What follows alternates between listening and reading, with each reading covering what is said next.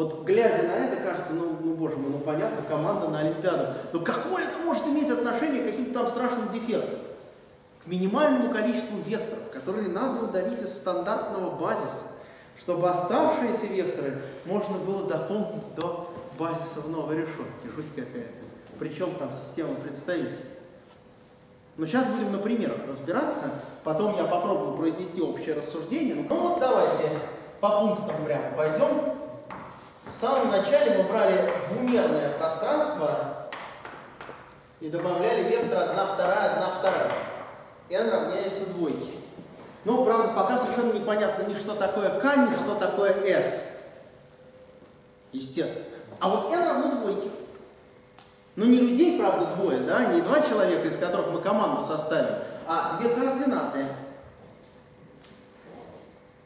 Вот есть множество из двух координат, 1 и 2. Это просто номера координат. Давайте так, номера координат.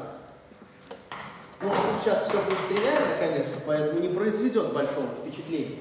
Тем не менее, давайте сделаем такую штуку. Давайте посмотрим на числитель. На числитель. Но здесь это две единички, тут не на что смотреть. Все совершенно понятно, да? Что здесь два числителя, оба равны единице. Внимание, товарищи, какие из этих числителей, дурацкий вопрос совершенно, какие из этих числителей взаимно просто с двойкой? Все. Все! Гениально! Вот давайте через m1 обозначим множество числителей, которые взаимно просты с числом 2. Но вы правильно сказали, это множество состоит из обоих элементов 1 и 2. m1 это 1 и 2. m1 это 1 и 2. Но смотрите, в знаменателе кроме двойки ничего нет, поэтому что еще смотреть? Давайте скажем, что у нас m красивая по определению просто. Это совокупность, которая состоит только из одного множества. Если апеллировать к тем терминам, о которых я говорил перед этим, ну, э, у нас есть только один предмет, мы смотрим только на комбинаторщиков. На. А про геометров, числовиков, ну, у нас нет ни геометров, ни числовиков в этой ситуации. Внимание, друзья, чему равняется тау от m?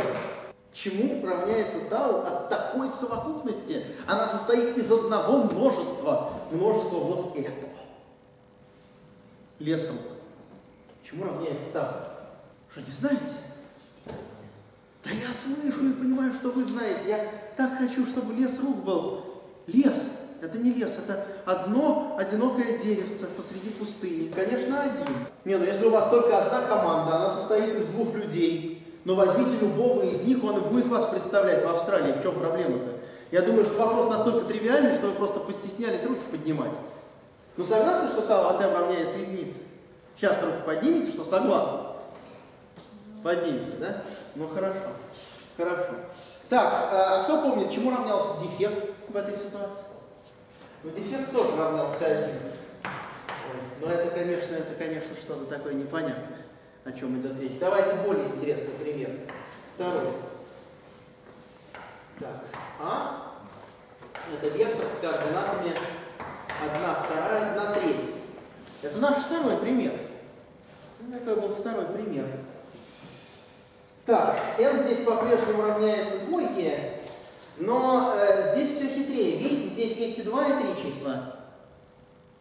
Но э, надо поправить ситуацию. Помните, я приводил к общему знаменателю. Давайте здесь так и сделаем. То есть напишем 3 шестых и 2 шестых. Я все-таки хочу добиться того, чтобы знаменатель был общий. Шестерка, Q равняется шестерке, Q это обозначалось. Вот, но при этом я помню, что у меня уже есть два числа, и двойка, и тройка. Вы, наверное, догадываетесь, чему равняется S в этой задаче. S. Сколько предметов у нас будет? Два. Два. Да, правильно, два. Два. Так, ну давайте напишем M1 оно будет состоять из тех числителей, из тех числителей, которые взаимно просто с двойкой. Ну, какие у нас числители взаимно просто с двойкой? По-моему, только это.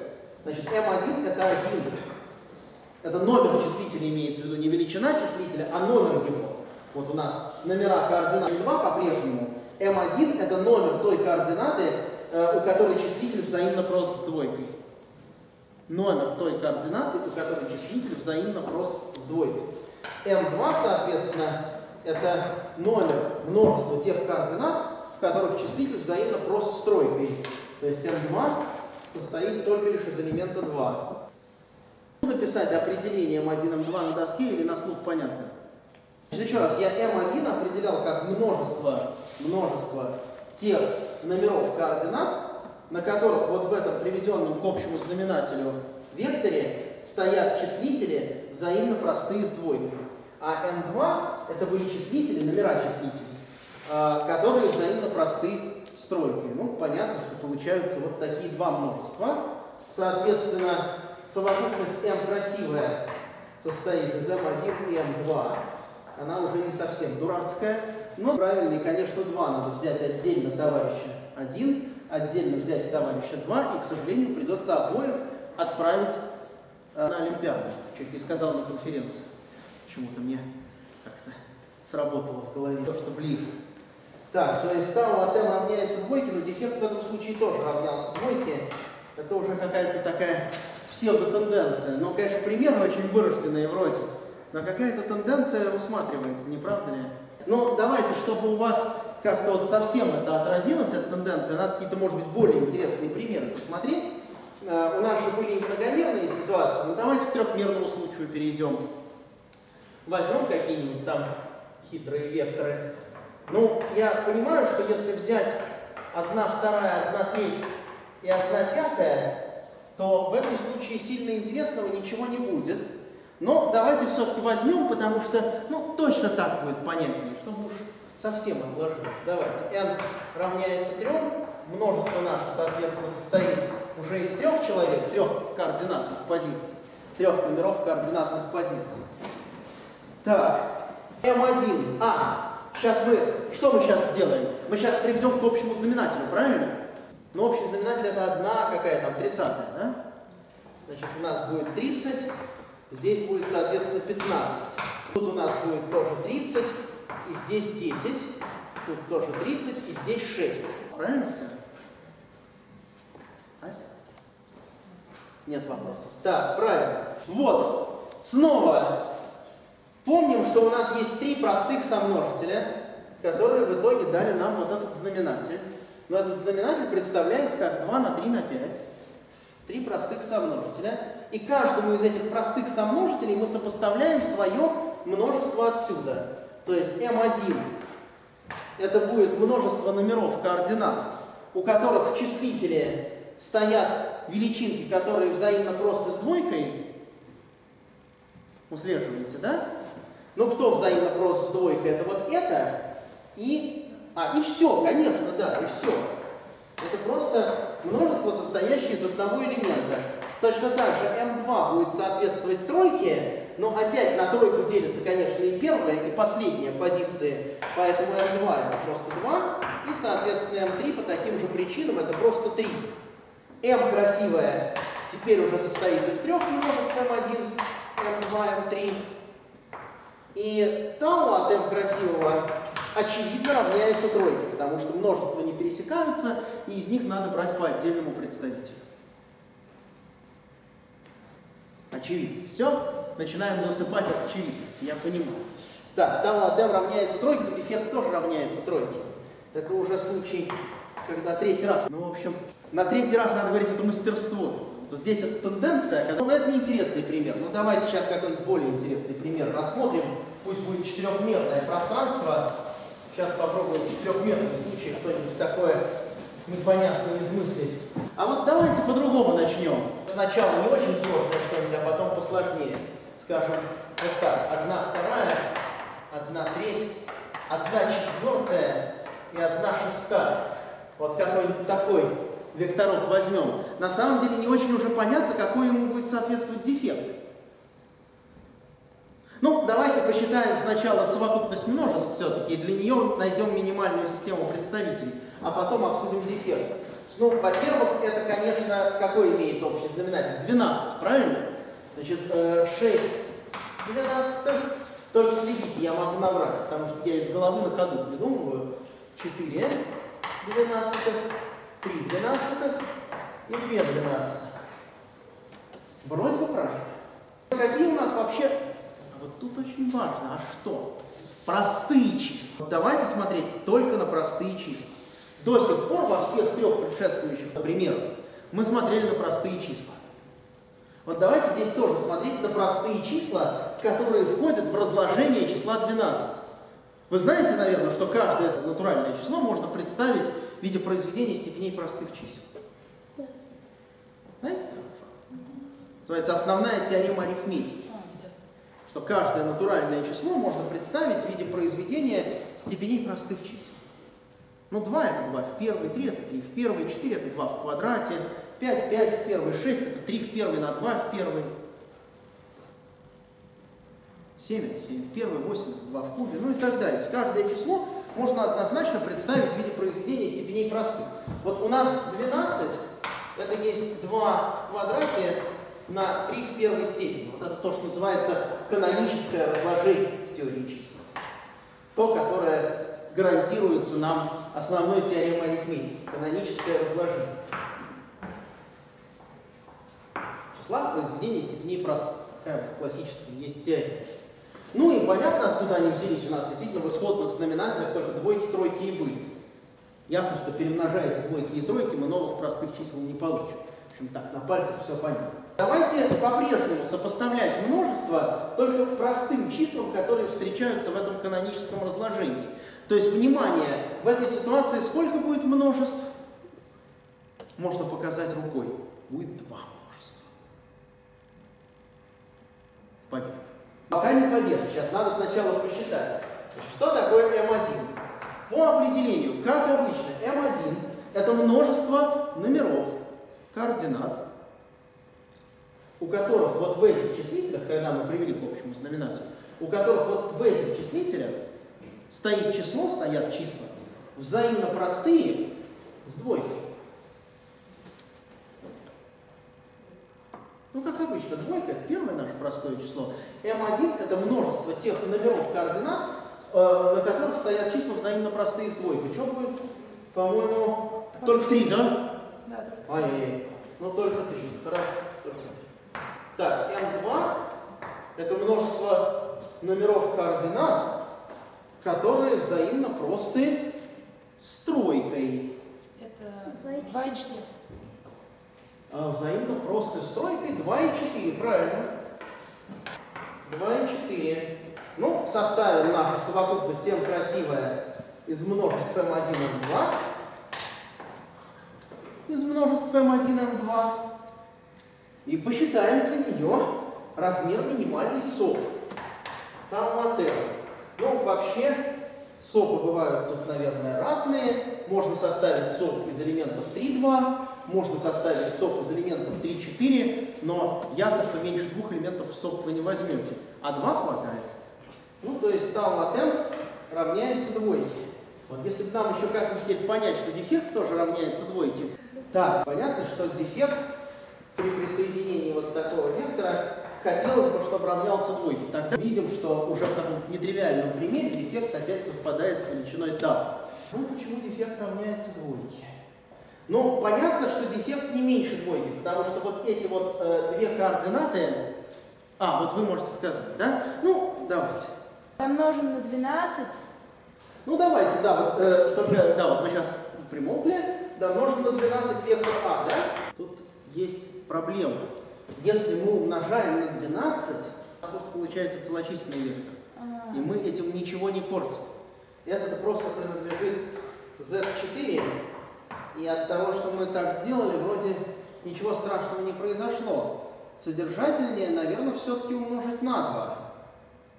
Содержательнее, наверное, все-таки отдельно умножить на 2 и отдельно умножить на 3. Я так полагаю. Понятно, что дефект никак не меньше двух, потому что у нас есть две координаты, которые мы сейчас укокошим только так. Ну, что их стоит укокошить? Ну, действительно, давайте умножим на Все, возьмем вектор 2а. У нас получится 1, 2 третьих одна вторая и одна треть. А? Получится так? Не вопрос. Так, конечно, получится. Вообще не вопрос. Получится такой вектор. Так. И не повезло. Умножаем на 4. Умножаем на 4. Получаем 2, 4 третьих, 1 и 2 третьих. Ну, просто я еще раз умножил на 2, 2 У меня получилось 4 А вот это уже лучше, потому что у меня и тут целая координата, и тут целая координата. Я могу взять и из 4а, ну, 4а прибавить, чтобы оно так было, как у нас всегда писалось, э, вектор вот такой. На первой координате минус 2, на второй координате минус 1, на третьей координате минус 1, ну а на четвертой координате 0. Я думаю, что меня это вполне сейчас устроит. Значит, что у меня получится, если я к 4а прибавлю вот такой вот вектор, такую точку, да?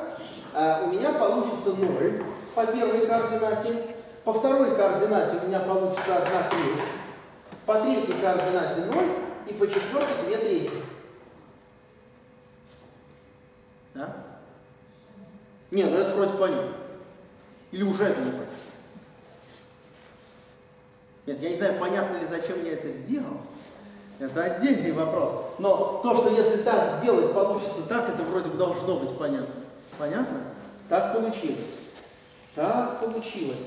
Ну, как себе это надо представлять? Конечно, четырехмерное пространство представить трудно. Но что значит, что занулились какие-то две координаты? Вот, знаете, вот такую колючку себе мысленно представляйте. Я вам ее сейчас буду показывать. Ну и где-то есть еще четвертое направление, конечно. Где-то там, в империи. Мы его не представляем. А? Такая четырехмерная колючка. Ну, смотрите на трехмерную. Вот у вас есть две координаты, по которым ноль. Вот одна по ней ноль, и другая по ней ноль.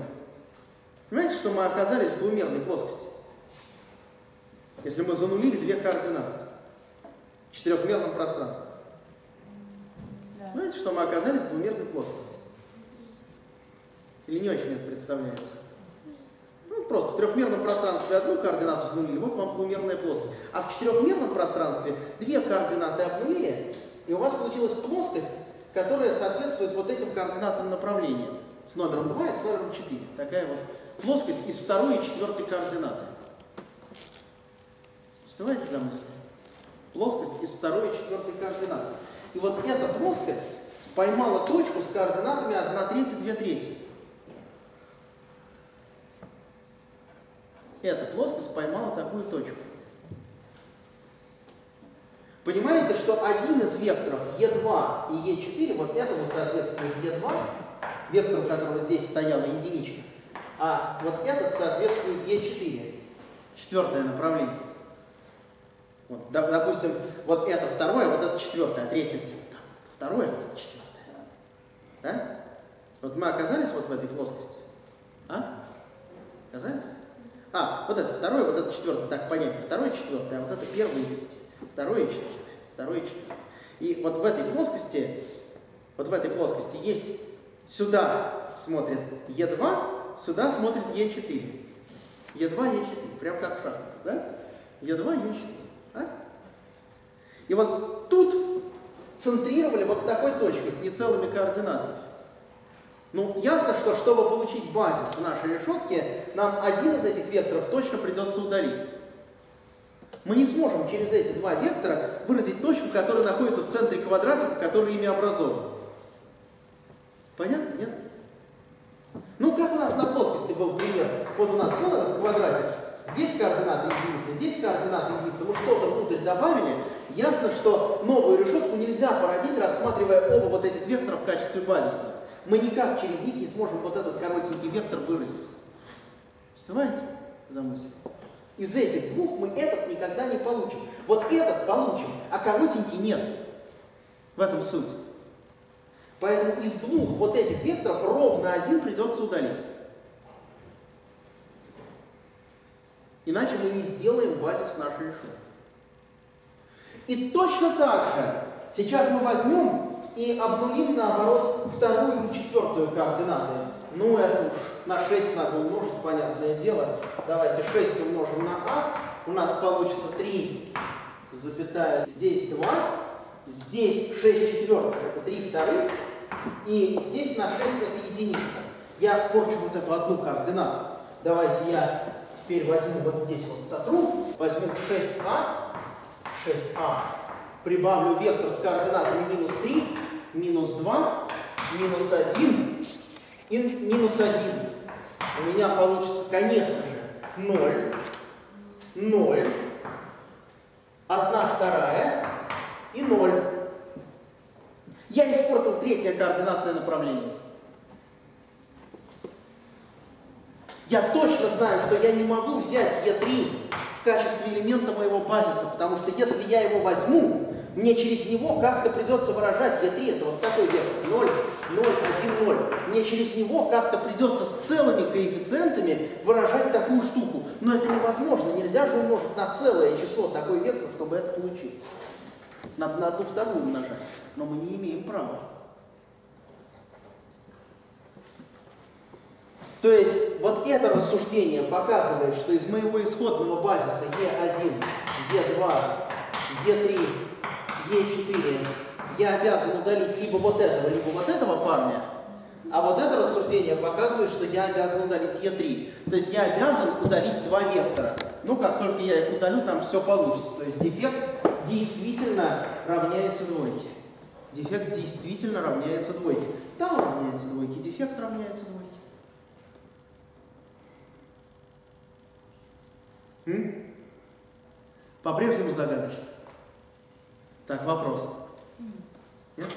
А, вы подняли руку, что понимаете. Поднимите руку, кто понял вот это рассуждение. Ну так. Честно. Ну не совсем, да, я понимаю. То есть люди так. На, наполовину. Вот здесь вот половинка, и поняли наполовину. А некоторые смотрели вот сюда и поняли на треть. А кто-то на две трети. Я всякий раз пытаюсь просто показать, что в некоторой части нашего пространства произошла бяка. Я не могу вот эти два вектора взять в базис одновременно, потому что если я их возьму, вот этот вектор я через них выразить не сумею.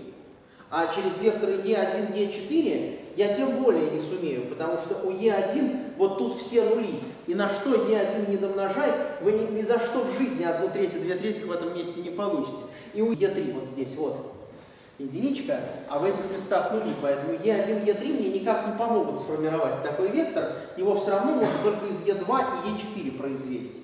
Но, как мы выяснили, даже через них обоих такой вектор не производится, поэтому одного из них точно надо удалить и на что-нибудь заменить в нашей решетке. Именно поэтому из базиса приходится удалять и вот этого товарища, кого-то одного из этих двоих. И получается, что э, дефект в точности равен двум, как и величина тау.